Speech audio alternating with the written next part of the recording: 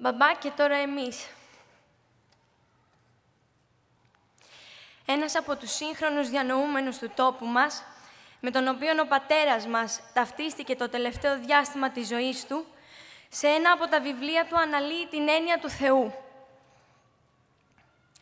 Η ανάλυση αυτή κάνει ένα ταξίδι περνώντας από τα λόγια του Γκέτε, του Ντοστογεύσκη και του μεγάλου μας Έλληνα ποιητή Ευρυπίδη στην τραγωδία του Ελένη, με την ερώτηση «Τι είναι Θεός και τι μη Θεός και τι ανάμεσά τους». Ποιος άνθρωπος το ψάξε και βρήκε μακρινότερο τέλος; Το άρωμα του ζητούμενου Θεού που αναδύνεται μέσα από τα ερωτήματα που θέτουν οι μεγάλοι της ιστορίας μας, απευθύνεται στον άνθρωπο. Τον δίκαιο άνθρωπο, τον φρόνιμο, τον λογικό και τον πάσχοντα, που σε αυτή την περίπτωση είναι ο πατέρας μας. Όπως έλεγε και ο ίδιος,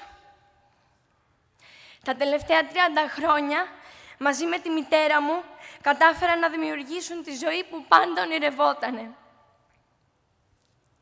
Μία μεγάλη οικογένεια που ο καθένας είχε λόγο και ελευθερία και ταυτόχρονα ήμασταν μια γροθιά.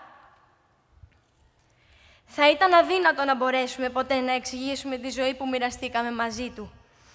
Για το λόγο ότι ξεπερνάει τα ανθρώπινα όρια και αγγίζει τα θεϊκά. Σε αυτό το σπίτι, η κάθε μέρα ήταν γιορτή, που το βράδυ μετατρεπόταν σε πλατωνικό συμπόσιο. Για εμάς, ο μπαμπάς μας θα είναι πάντα ο Δίας.